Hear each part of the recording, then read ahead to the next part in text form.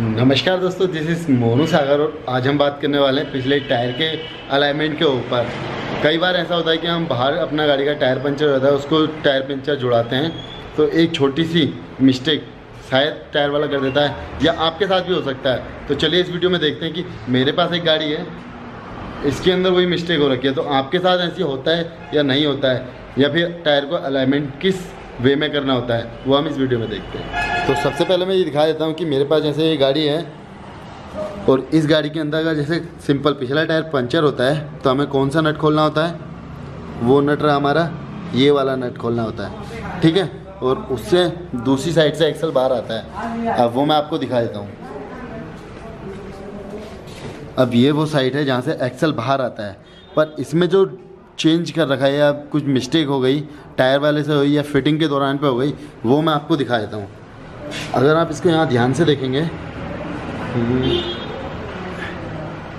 यहाँ पर देखिए, इस जगह पे गैप रह गया है।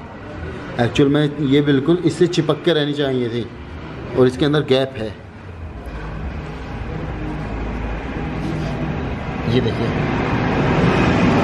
दिखा है ना गैप तो ये गैप नहीं होना चाहिए, क्योंकि अगर आप जैसे टायर खुलाते हैं अगर आप टायर खुलाते हैं तो टायर का अलाइनमेंट किस तरीके से करना होता है?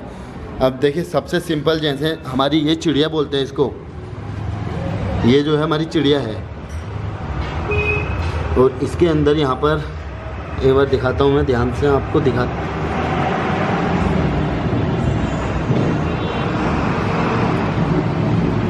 बीस से दो मतलब अट्ठारह, कि आपने यहाँ पर इधर देख लेना है कि इधर हमारी चिड़िया किस जगह पर है। अब जैसा कि यहाँ पर देखिए यहाँ पर ये बीस पे नज़र आ रही है। पच्चीस, बीस, पंद्रह तो उससे दो कम में अट्ठारह समझ लीजिए, ठीक है? तो जैसे यहाँ पर अट्ठारह है तो हमारी दूसरी साइड में भी अट्ठारह होना बहुत ज़रूरी है। क्योंकि यही बिल्कुल सही तरीका रहता है उसको अलाइनमेंट रखने का। ध्यान से देख लीजिए। अब मैं दूसरी साइड में दिखाता हूँ।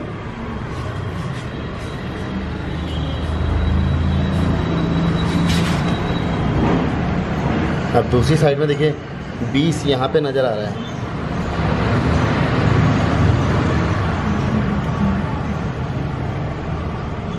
अब 20 कहाँ पे नज़र आ रहा है आपको दिख रहा होगा?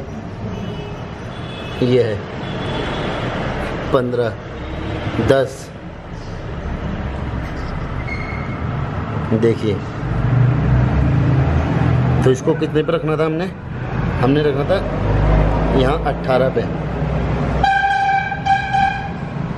है नहीं, है आउट तो एक बार इसको कर देते हैं अलाइनमेंट अब देखिए, पीछे से देखने में ये ऐसा नहीं लगेगा कि टेढ़ा है।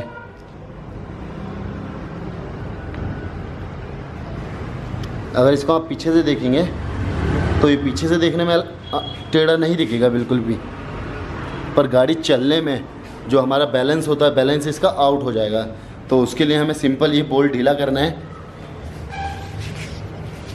चौबीस नंबर का।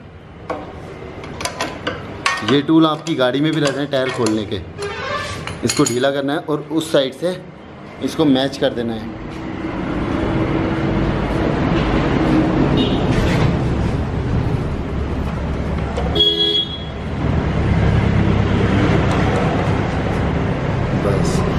और ये अट्ठारह पे फिक्स कर दिया है और देखिए उससे बिल्कुल चिपका भी दिया है जो चिपकना चाहिए था और उसके बाद टायर टाइट कर देना है और देखिए पीछे से अभी भी कोई फ़र्क नहीं है पर गाड़ी हमारी बिल्कुल सीधी चलेगी तो ये वो बारीकी वाली चीज़ है जो इंसान को समझना बहुत ज़रूरी है जो मतलब इवन जो गाड़ी चलाता है उसको इतनी नॉलेज होना बहुत ज़रूरी है मैंने चलो डेफिनेटली इसको इसके ऊपर सेपरेट वीडियो बनेगी तो आज आपके लिए आ गई वीडियो। आपको पसंद आता है तो लाइक करिए और आपको ऐसा लगता है कि किसी बंदे को शेयर करनी चाहिए तो बिल्कुल शेयर करिए और जल्दी मिलता है नेक्स्ट वीडियो में। फ़िलहाल के लिए वीडियो में जय हिंद। बंदे मातरम।